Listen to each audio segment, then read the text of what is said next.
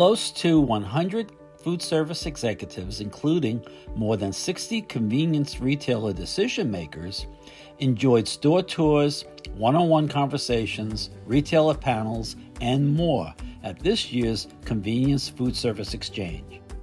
The event was presented by Convenience Store News this spring. I'm Don Longo, Editorial Director Emeritus of Convenience Store News, and I had the honor of once again emceeing the 2024 Convenience Food Service Exchange for the sixth consecutive year.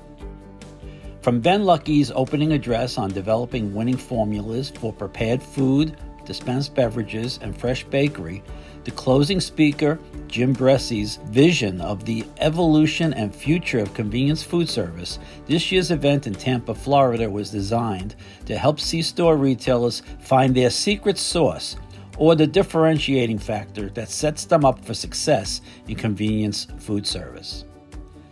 The Food Service Exchange featured its usual variety of keynote presentations, panel discussions, and fireside chats. There was also one on one networking and a local history and food tour of Ybor City, famous for its wild chickens of Ybor. The event also included visits to best in class C store food service market leaders, Wawa and RaceTrac Petroleum. This year's conference included three retailer panels.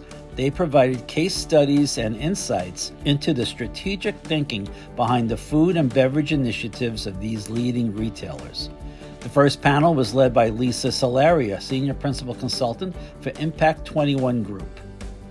Tony Sparks of Kirby's Express Market in Lubbock, Texas, and Paul Servais of La Crosse, Wisconsin based Kwik Trip participated in a featured session on dispensed beverages. They covered best practices and future flavor trends in hot, cold, and frozen drinks. Business Accelerated Team Consultant Ed Bircher led a panel about the importance of multifaceted engagement strategies.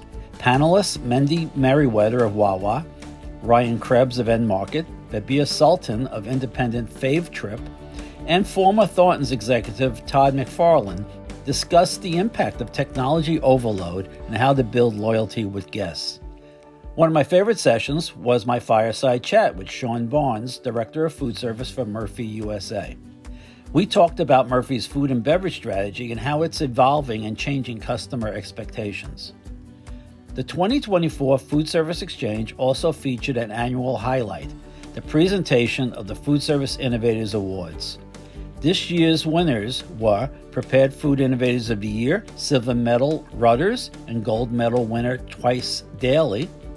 Hot and Cold Beverages Innovator of the Year, Silver Medal 7 Eleven, Gold Medal Kirby's Express Market. Best use of technology in food service, silver medal Circle K, gold medal Casey's.